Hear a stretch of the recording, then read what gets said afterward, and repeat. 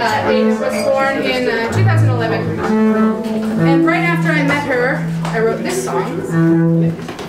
Uh, at the time that she was born, she didn't necessarily embody this character, but she's come into this character.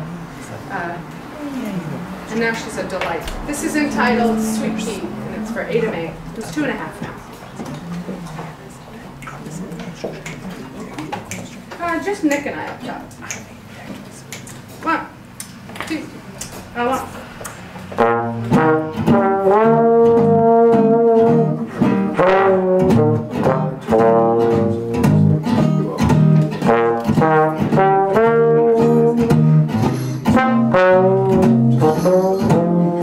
I hear you over there.